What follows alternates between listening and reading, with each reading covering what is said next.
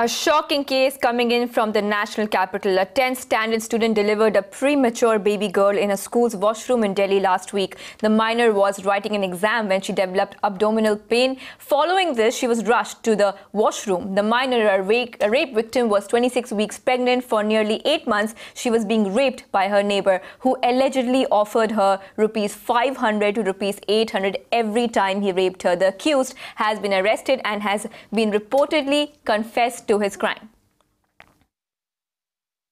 मुझे रूम पे बुलाया था।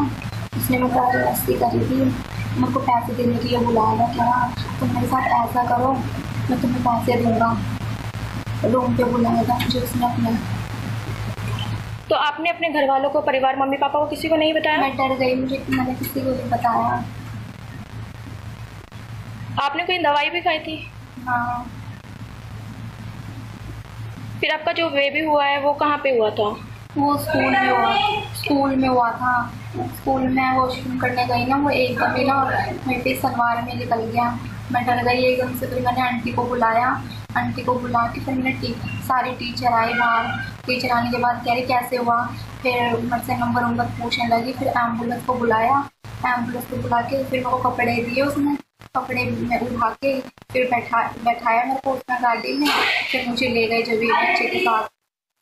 मुझे यहाँ पे एडमिट कर दिया। हमारे पास 20 तारीख को बच्चा आया है। जब बच्चा आया तो हम लोगों ने उसको फ़ीड दिया।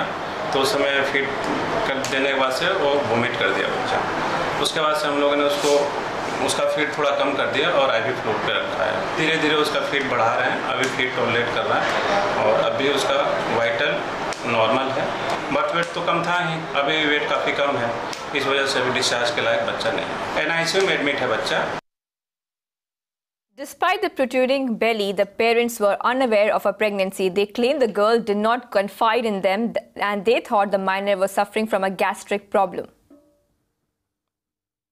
मेरे को कुछ भी मेरे को पता होता था मैं मैं उसको छोड़ मैंने स्कूल में स्कूल में पता लगा मैंने बच्चा हो इसके पापा का फ़ोन आ गया अब वो पुलिस ने पकड़ लिया है। अब क्या कहेंगे? ऐसे आदमी को कैसी सजा मिलनी चाहिए?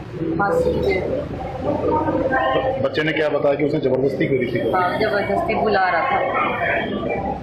डरा दिया उसने।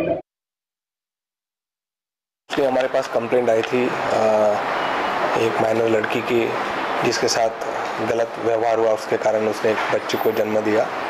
और उसकी कंप्लेंट में हमने केस रजिस्टर किया।